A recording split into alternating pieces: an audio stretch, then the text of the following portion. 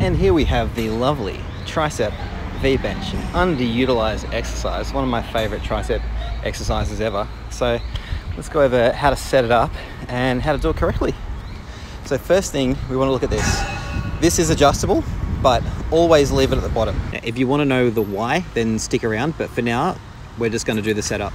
The next thing is I like to take out these pins. Unless you're really tall, then you don't actually want those pads up much at all. Next thing is the foot plate. So we want to adjust that to a point where it's comfortable.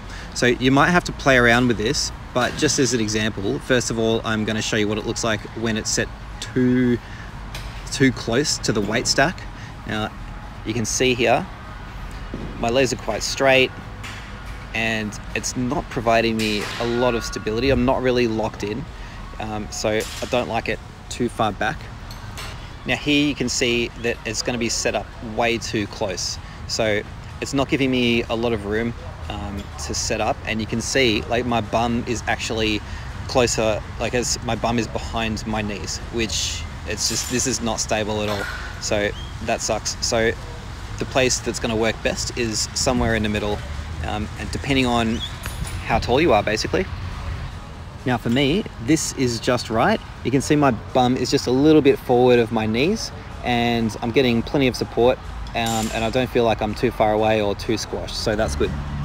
Next, we're going to look at your elbow position. So where your elbows are sitting relative to the actual pad. So you want to have your elbows just far enough, like just clear of the pad so that you don't feel like the pad is getting in the way of your elbows during the exercise.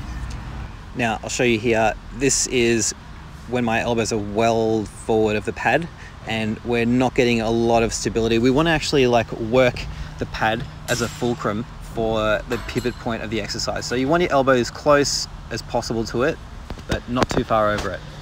Now next, we're gonna look at what it looks like, uh, what your arm position should be during the exercise. Now, when I'm on here, I'm thinking trying to keep my elbows close to each other.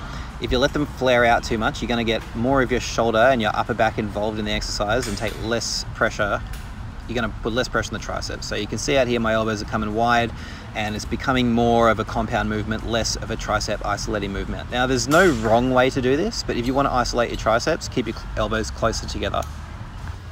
Now, here's a little tip to actually get the exercise started. Once you've got enough weight on there, it might be a little bit hard to start the exercise from the floor. So you can just sort of stand up and um, force your way down like that.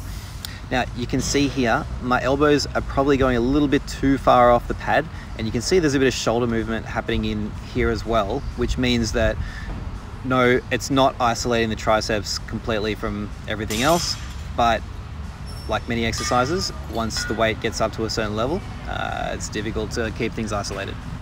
Now here I've just dropped the weight a little bit so I can keep my form a little bit more on point. Now you can see that my elbows are quite close to the pad. I'm supported through my legs. There's not too much full body movement happening. There's, you can see there's a little bit. Um, you want to try and minimize that as much as you can, but this is, this is pretty good. I'm happy with this. So there you have it, tricep V-bench, one of the best exercises for triceps in my opinion. Now you know how to do it, go and do it.